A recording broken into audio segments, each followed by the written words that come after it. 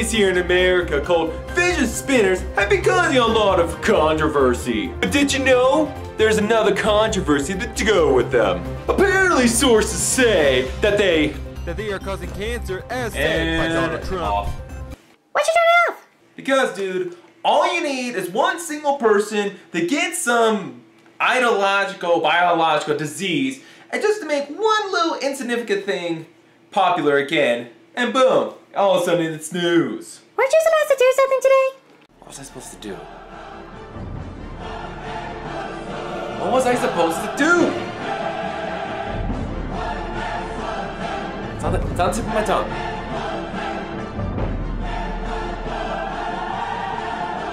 Oh. What was it?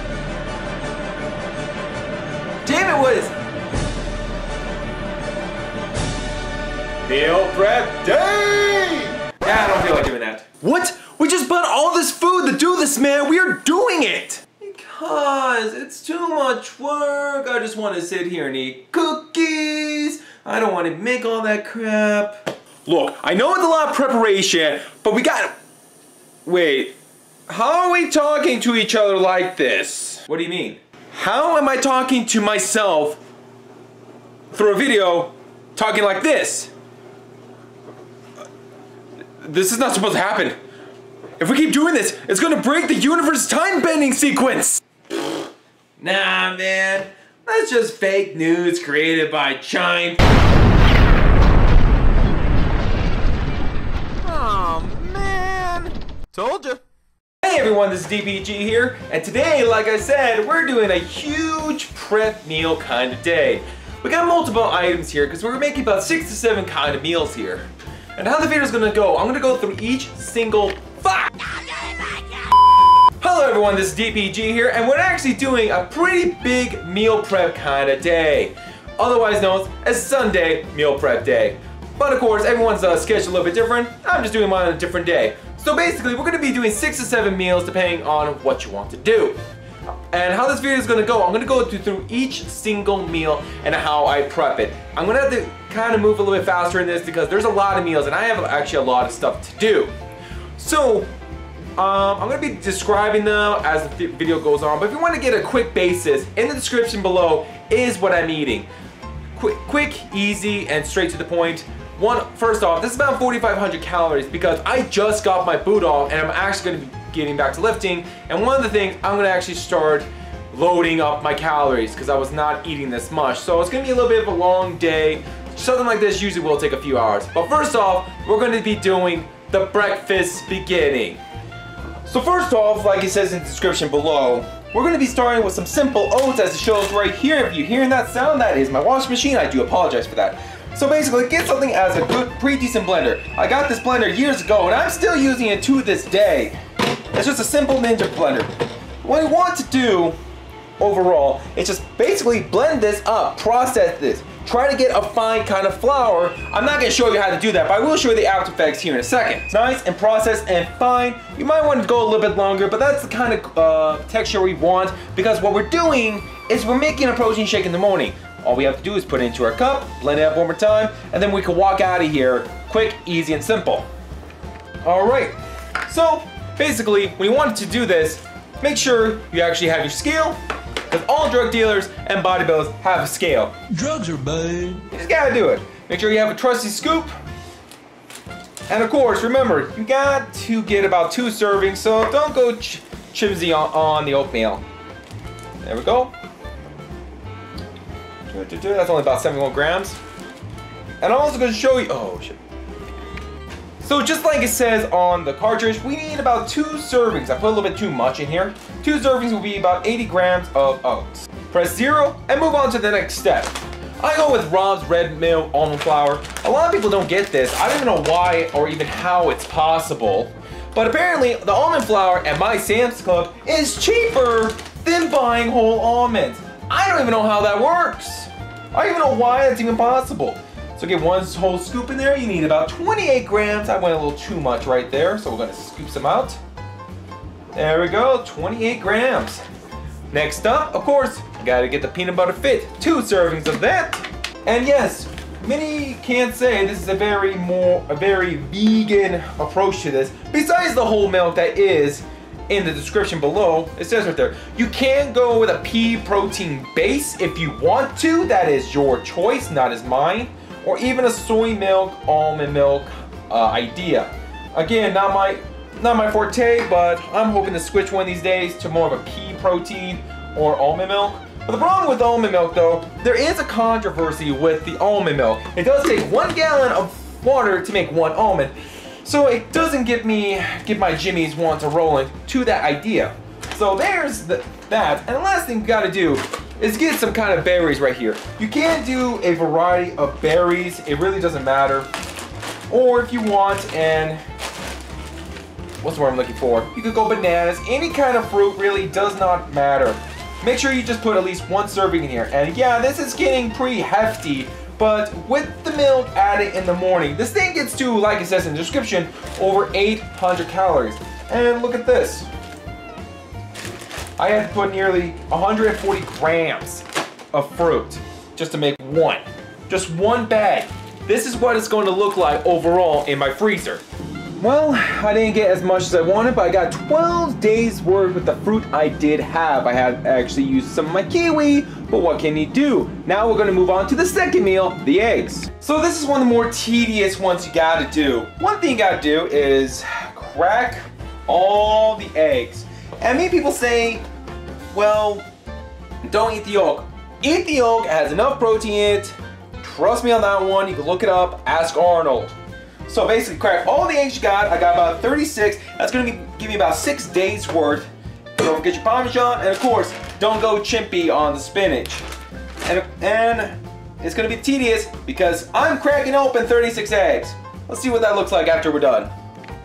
And there we go. We got a whole lot of eggs, 36 eggs with six, sorry. There is 12 servings of Parmesan and one whole pound of spinach. Time to wish it up and put it in the fryer.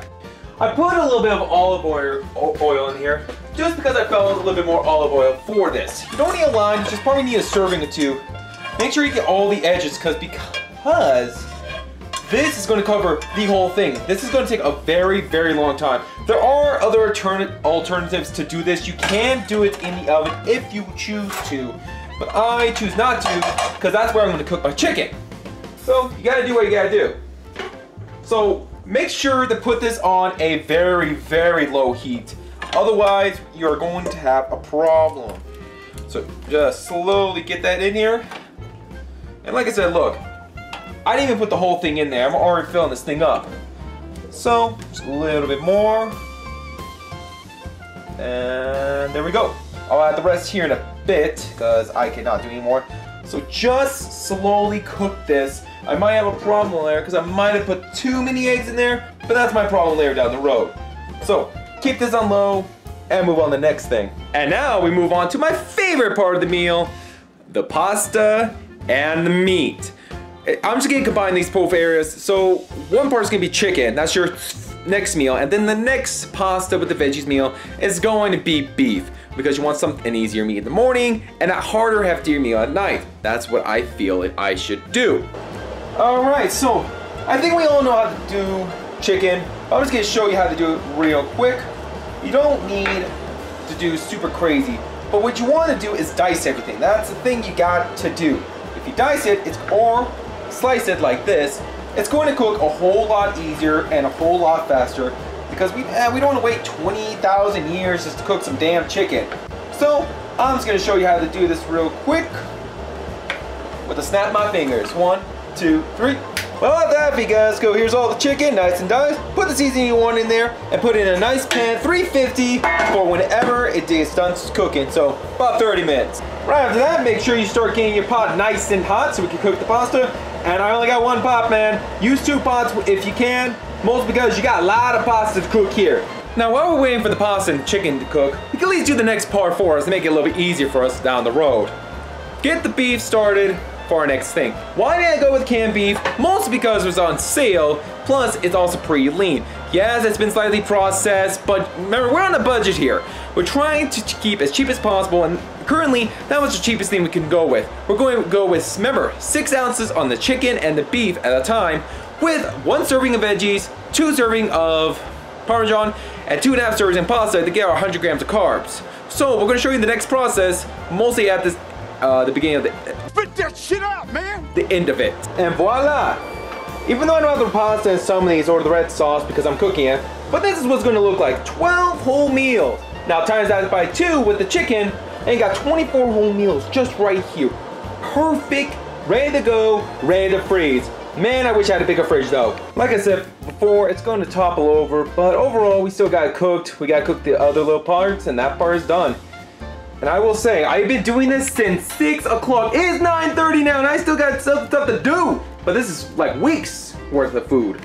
In order to save some time, pain, and misery, what I'm actually going to do, instead of cutting my bananas, I'm going to throw them into my blender and let it mix up overall, make it to a nice banana paste. Otherwise, I'm going to be staying up chopping, slowly putting the bananas on the, sandwiches. So we're just going to do it this way, just make it overall easier for everyone and myself. Now what you can do to actually add some more flavor this flavors to this to get more of a chocolate taste, add some cocoa. Yeah, you don't have to add too much. Really, you want to do kind of one serving banana, one serving of cocoa. That's kind of the idea you're going with. So I'm not gonna lie, I'm starting to get a little tired from doing all this. Nearly four to five hours of this all, but hey, you know when you think about it, you don't have to cook for weeks, weeks. And that just saves on dishes overall. But right now we're gonna actually make the sandwiches. Got my cocoa banana right here. Got my bread all ready to go. And got my peanut butter. Oh, let's make about 10 sandwiches. And then move on to the next thing. Look at this. Look at this. This thing is filled to the brim with meals and everything. And I couldn't even fit all this. I didn't even put some of this stuff in my deep freeze. And I still got my protein shakes and my casein stuff to go. Okay, next we're actually going to be doing the pre-workout. Oh boy, this just gets longer and longer and longer. I totally forgot about the pre-workout. So, here's the next part. One scoop of some aminos, energy right here, and a mixture of 4 to 5 grams of creatine monohydrate and creatine HCl. The only reason why I'm adding the creatine monohydrate to the creatine HCl, they both digest differently and both give different effects. Even though they're overall the same thing, they both will digest differently. Plus, I had creatine monohydrate from Christmas, and I might as well use it. And of course, we add one serving of my pre-workout, which is called Shock D. Got it on sale during uh, Black Friday, and you know I'm still trying to finish it off. You know, I probably would have finished off if I didn't have the whole two months scenario because of my broken foot. You gotta do what you do. And of course, some dextrose sugar for some simple sugars to overall help you get that workout going. And I'm gonna be going until I'm out of pre-workout overall because I do not have that much pre-workout. And once that's done, I'm gonna be creating my own. But that's gonna be a different video for another day. Besides that, then it's the protein, and then it's the casein, and then I'm done. But again, you just gotta scale it right. When it comes to this, you gotta have, like it says, eight, eight to eight and a half. This one's, let's see what it says right here. Five grams. Five, and let's see, five grams. And since we're trying to get a good amount of sugar, 20 grams of sugar. So after a nearly an hour of prepping this, I'm finally done. All my pre-workout. It took me an hour to do 30 servings. I have no more. That was it. I still gotta do the protein for the post-workout and then the nighttime casein. All right, now we're moving on to the post-workout meal. Got your glucosamine, one serving of that. And we got gym supplement protein. It has whey protein isolate, micellar casein, milk protein isolate, egg white protein. Little mixture, I kind of like that kind of stuff. I used to do that a lot, but I was just too lazy to do it again. So I just went with Jim. I'm actually excited. First time trying it. Of course, I, I didn't get any gummy bears because I totally forgot. But I'm like, you know what? Let's just use dextrose again. Another serving of dextrose and one serving of some flaxseed for some good healthy fats. And, oh god, just remember this. Some cocoa to add to the mix. Oh wait, I'm sorry. Wrong one. No, we add the cocoa at night. At night, not now. Alright, besides that. Oh, and oatmeal. The rest of this oatmeal. Whatever it can fill in here, um, that's it. I'm done. I'm not gonna do any freaking more. I'm not gonna lie, I am so freaking tired now. It is 12 o'clock at night right now. I have been going at this since 5, 5.30.